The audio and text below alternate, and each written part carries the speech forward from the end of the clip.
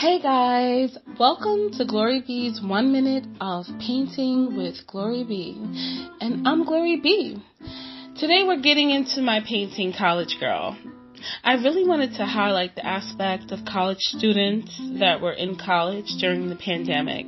We don't know what they experienced, but in this moment in my painting, she's in her dorm room flipping through a textbook, skateboard on her lap, the cover that's under her is made of cobalt blue and some deep forest greens, and you're invited into her time. That it's okay to move forward and it's okay to advance yourself no matter what's happening. I love that.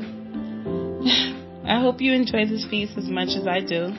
Thank you for joining me on this episode of One Minute of Painting with Glori B and listening to that little bit of background on College Girl. For more content, head over to glorybeart.com.